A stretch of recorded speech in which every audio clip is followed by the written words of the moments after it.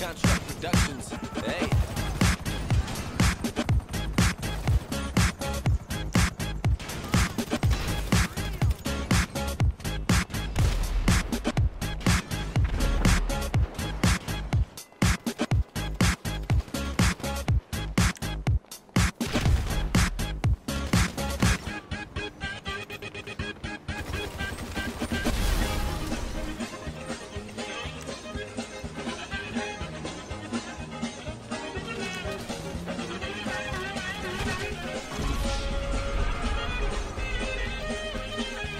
This is my favorite part, right here.